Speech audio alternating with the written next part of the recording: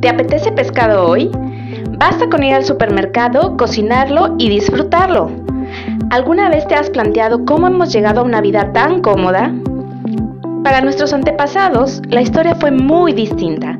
Ellos crearon objetos y herramientas de aquello que la naturaleza les aportaba para sobrevivir.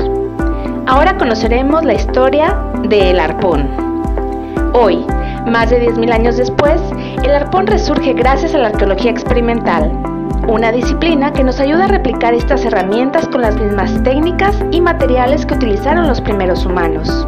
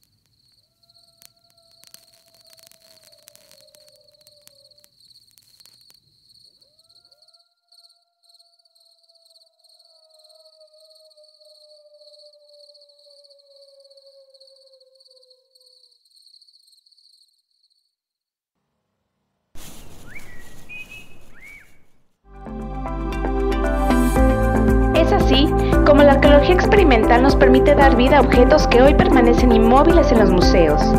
En un mundo que va tan rápido, es importante echar la vista atrás para ser conscientes del esfuerzo que implicaba en el pasado una actividad que hoy es tan cotidiana.